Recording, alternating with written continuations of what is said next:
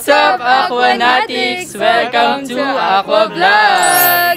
Kung bago ka pa lang sa aming channel, please hit the like, Share! Subscribe! hit the notification bell para lagi ka updated sa mga bagong videos namin. Kung nakaraang video, galing tayo sa Aquatics, Mission Day. Vision de Aquatics, Misho. Misho de Aquatics. Yan. Kung di nyo pa nakapanood, panoodin nyo na nandito yung ano. And Ngayon, papunta na naman tayo sa bagong fish shop. Stay tuned!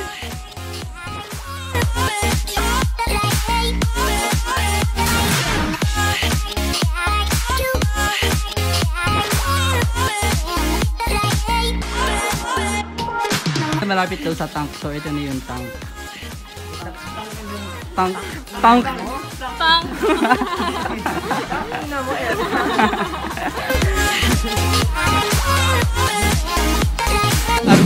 guys! Bumili muna kami at nagpahinga dahil mainit and bumili kami ng Pepsi. Pepsi and pizza. Ay, may pa...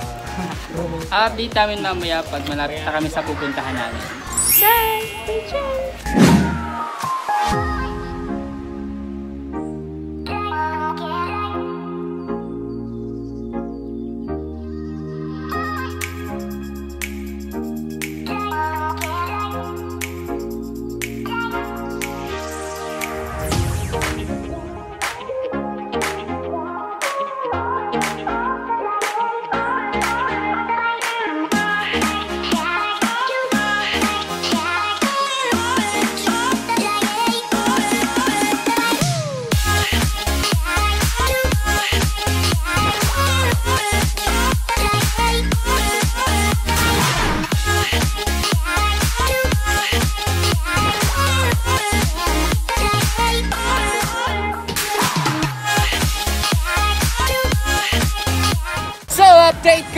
Malapit na kami sa aming pupuntahan!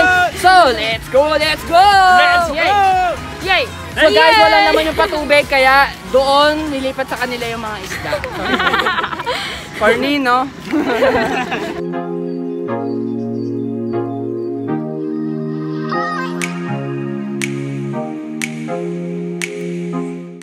So, what's up, Aquanatics? Nandito na tayo sa Gems Shopping! Ito turn namin kayo kung ano makikita dito sa loob. Let's go! Let's go!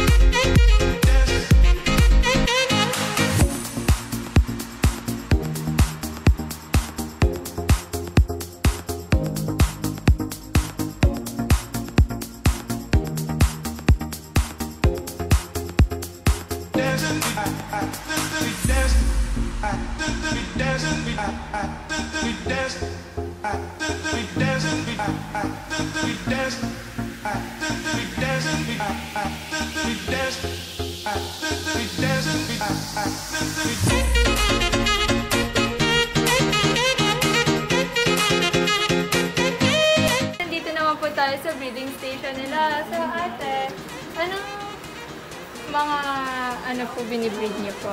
Molly fish. Ito mga anak ng Molly ko yan. Tapos ito angel. Ah, nagbe-breed din po kayo ng isinama angel? lang namin dyan. Pero pagka mal- medyo malaki na siya, eh, paghihiwalay na namin yan. Ayun, kuha ko yun, yung pula na yun na merong black. Nag-start pa lang kayo mag-breed ng ano, ng ibang mga isda tulad ng kuha ko na yan, bago pa lang. Pero ito, matagal na kami nag-breed niyan. Tapos pag malaki na sila, tatanggalin namin dyan, dito naman. Pag medyo malaki na. Hmm, para mas malakas naman kung malaking lalagyan. Pagkaraan dyan, dun na. Pambay Sa para siya. pambenta. Tulad yan, oh, buntis. Yun, oh. Mga gapi na yan. Kapag malaki yan, buntis yan. Ito, yung aking danyos. Breeder ko ng danyos. Yung anak niya nasa likod.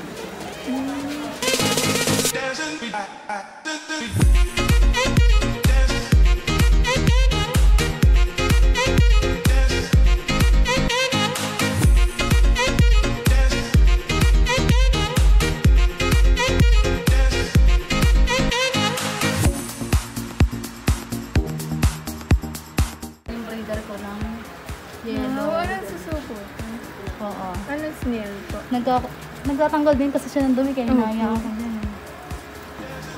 Breeder din po yun ng mga to. Community ko to, pero may nagbe-breed ako dyan. Ayan yung dilaw na yan, oh. Yung malaki pa. Oo. Meron pa ako dyan isa eh. Tapos yan, oh, nanganganak na yan. oh. Yan yung lalaki, nandiyan yung babae sa likod. Nahihiya sa'yo, kuya. So,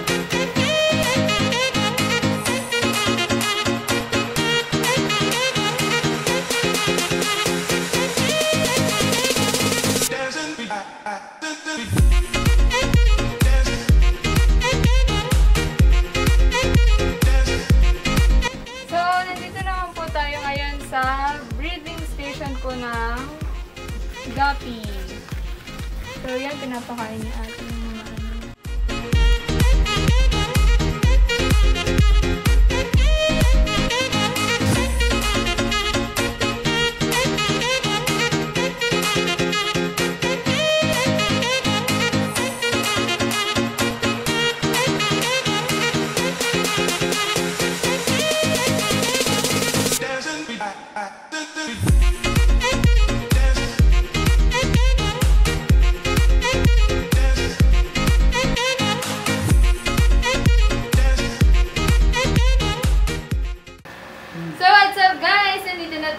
tayo sa Jam Shopish at kasama natin si ate, Marig.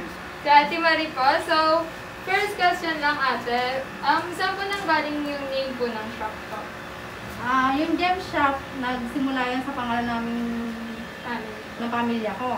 Yung G, sa, sa pangalan ng anak ko, Bryce Daril. Yung letter E, sa pangalan ng asawa ko, Emmanuel. Yung M, akin, Maribik. Tapos yung Z, yung anak ko si Zandrich. Kaya naging gems. Okay, Oo, yung pinagsama-sama lang namin. So, kailan naman po nag-start po yung business po? Ah, first week po ng May. May po. So, kaka-start-start lang din po. Opo. So, kamusta naman po yung pagpapalakad dito sa umpisa? Ah, okay naman po. Ah, kahit pa paano, nagkakaroon ng ano, ng mga customer. Mm. So, at yung mga magkano po yung naging puhunan niyo po sa business pa lang, medyo malaki kasi mahal naman na rin ngayon lahat, di ba? Ah, start kami ngayon, ano, 20 kasi kasama na lahat yan eh. Mm, lahat-lahat. Oo, lahat yan, pati mga beta ka. Lahat, ano, pati mga isda per pieces namin binibili. Happy per piece po. Hmm, per pieces yan.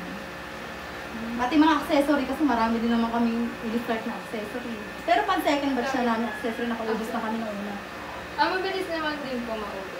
Oo, nung, na- nung ano kasi nakinuha namin mga first week nga nung June, mga second week, second week, konti na lang eh. Tapos yan, kaya umulit kami kanina, kadating na namin, kaya ayan, nakakahon pa. Yan pa lang din po naiyakat kasi namin. talaga eh. Marami rin pong nahihilig na Ako yun, oo, diba? So, kamusta na, ano naman po yung effect ng fishes po sa inyo?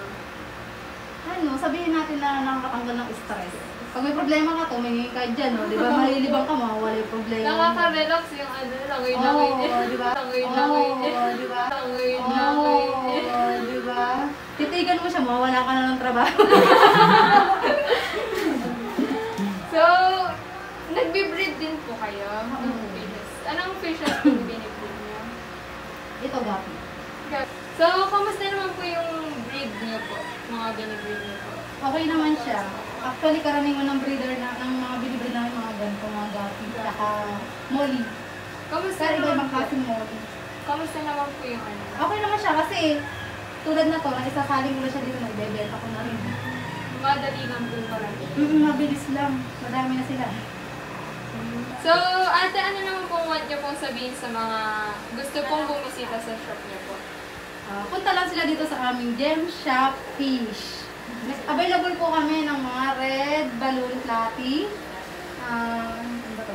Green danyos, pink danyos, yellow danyos, Mickey Mouse, um, yellow marble, silver marble, um, mga molly, um, ano pa po, hako, sangke, at saka gapi.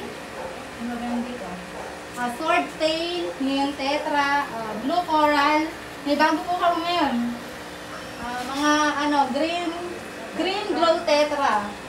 Tsaka yellow, green, yellow, ano ba yun? Yellow glow tetra, tsaka itong um, tiger barb. Bago ko yan. Tapos meron din po kami mga ano ngayon, mga dagdag na accessories. Tulad na to. Mga artificial na halaman.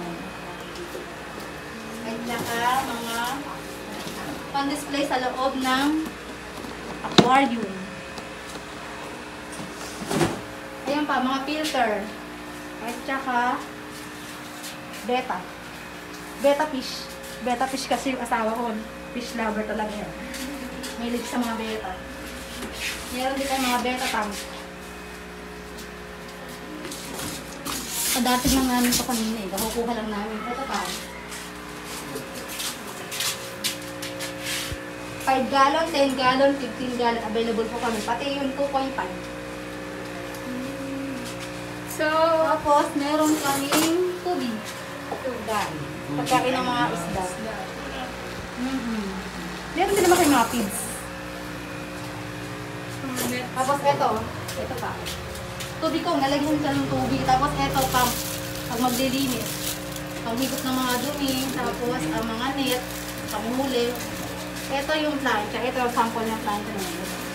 ano pang linis? Oo, sa loob. Thank you po sa pamerienda nila ate. So, what's up, Aquanatics? That's, That's all, all for today. So, kung gusto nyo pong bumisit dito, ang exact location po ay 256 Collianes Street, Double Second A, Pulilan, Bulacan. And regarding po sa price, punta na lang po kayo dito. Then ask nyo po si ate at saka si kuya. Then I'm sure po mas masasatisfy kayo po sa Yes. prices po dito ng mga accessories po and fishes nila po. And you may visit their FB page and yung link nung FB page nila, lagay ko na lang sa description box ng video na to.